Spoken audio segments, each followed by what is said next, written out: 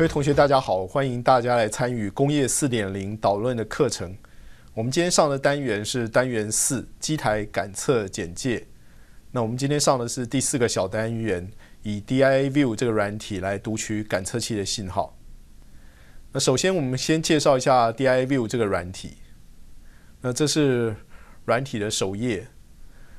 那 DIA View 这个软体是一套 SCADA 的软体，也就是我们之前提过。呃，它可以做系统监控、数据截取的这样一个软体，它是由台达电公司所开发的。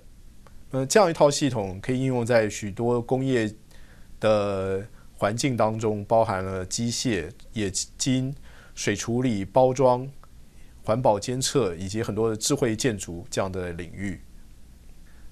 我们来看一下 DIA View 的软体的简单的设定的过程。首先，我们先看它的初始的画面。那我们要使用这个软体，我们首先新增一个 project，然后在右边的 AH 部分，我们可以去点选来输入我们要使用 PLC 的 IP。那接下来的话，我们就可以去设定呃 PLC 上的 channel 的地址。以图形所示，我们设定了四个 channel。那地址设定好以后，我们还可以给定它的变量来储存我们要截取的资料。接下来，我们用一个热电流感测器来连接 PLC，那再经由 DIView 这个软体来读取我热电流感测器上的资料。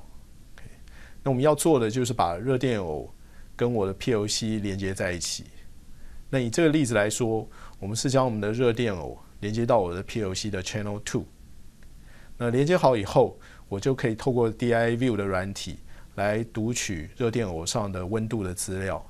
那左下角显示的就是我在 DI View 上所抓取到热电偶所读出来的资料。那目前显示热电偶上的温度是三十点五二度。那同样的，我们也可以将 PLC 连接到各种不同的。感测器来读取感测器上的资料。那 D I View 这个软体，呃，读取即时的数据，也可以将它转成折线图。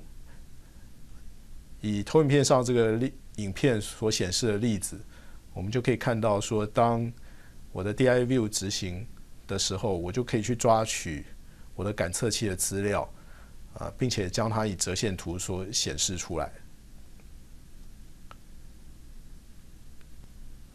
那除了读取即时的资料以外，我们也可以去读取历史数据，就是过去所发生的资料，也是一样可以产生相对应的折线图。以这个例子来说，我们就去读取呃之前五月二日下午七点十六分的这个资料。OK，那我们可以把。这些数据全部抓进来，那最后我们再可以产生一个折线图。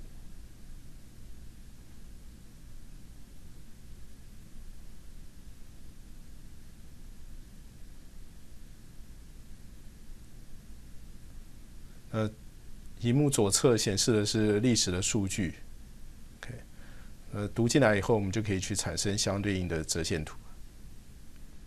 那在 DIA View 里头也支援 OPC，OPC 就是 Object Linking and Embedding for Process Control，它是一种通讯界面。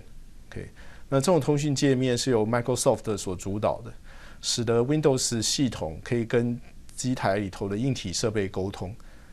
否则，在过去的话，不同的硬体有不同的输出，啊，那对工厂来说是相当难将各个不同的硬体把它整合。那使用 OPC 的界面，我们就可以呃把工厂里头各种不同的厂牌的 PLC 相互连接，把它们的资料读取出来。所以简单来说，硬体设备透过 PLC，呃，再连接到我们的 OPC server 上，啊，最后经过我们的 OPC 软体，我们就可以把这个硬体设备上的感测器的资料把它读出。那在 DIA View 里头也有支援这个 OPC 的部分，所以在我们投影片中间的影片也是一个 OPC 模拟器，来模拟读取 OPC 的即时的数据。那接下来部分也是跟之前所显示的一样，那我们也可以来读取历史上的资料，那并且把它用折线图来做显示。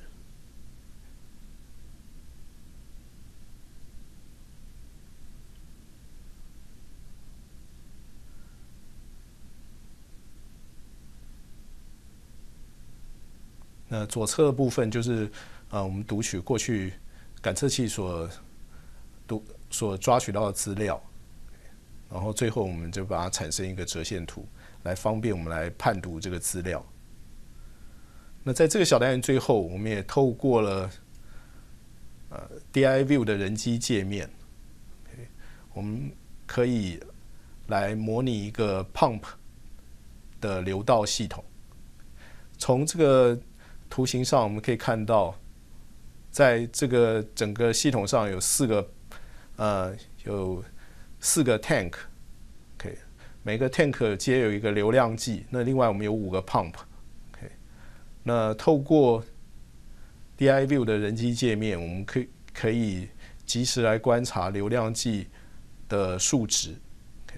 那这个系统也很方便，让我们来建立这个人机的界面，以使得管理的人员可以得知工厂内部这些 pump 流量计 PLC 的之间的关系，并且很方便让我们来观察各个感测器上的数据。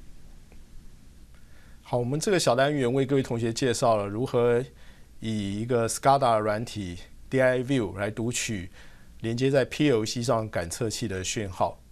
那接下来下一个小单元。我们将要为各位同学介绍另外一个 SCADA 软体 Web Access。我们一样可以用 Web Access 来读取在感测器上所接收到的讯号。那这个小单元我们就为各位同学介绍到这边，谢谢大家。